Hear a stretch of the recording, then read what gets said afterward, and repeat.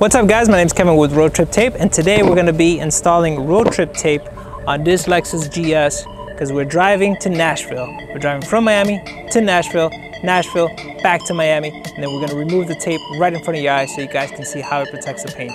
Let's get started. All right, so to protect the paint, we're going to start with the starter kit and the starter kit includes everything you need to get you started, including the application spray, which is an alcohol-based cleaner, a felt tip squeegee, which is perfect to remove any air bubbles, and it has a felt tip to protect your paint. Some scissors to cut the tape out because you want to do is trim them to exact same size as your bumper. And lastly, road trip tape, and we're using regular strength because it's just regular painted car. All right, so now get the application spray and just spray generously around the area they're gonna put on. And then with your rag, just make sure you wipe it off and get everything off. All right guys, now that the car is nice and clean, make sure to start putting the tape on. Get your tape, get your scissors, and let's get started.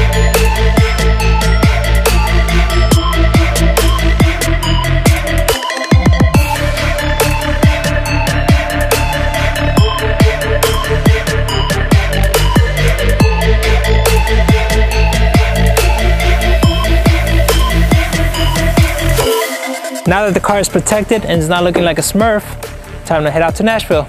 Let's go.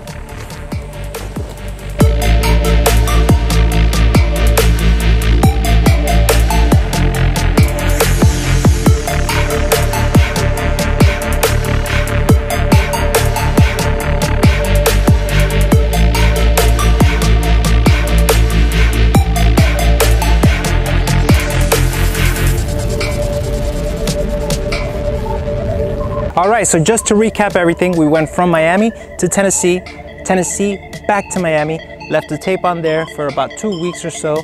Uh, now it's time to remove it. I know behind that tape there's nice, fresh, clean paint, safe paint, no rock chips. All right, so before removing the tape, I let the car cool down for a few hours. We're parked in a nice shady area where there's no sun hitting directly. Uh, if you can leave it overnight or take it off during the night, even better uh, cool tape just comes off a lot easier. All right, when we applied the tape, we applied the tape from top to bottom. So now we're gonna start removing it from bottom up. Let's get started.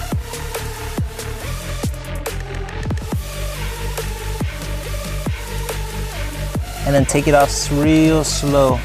Don't yank on the tape, that way you don't harm the uh, paint. So just take it off nice and slow and see how nice, fresh, clean paint is behind this.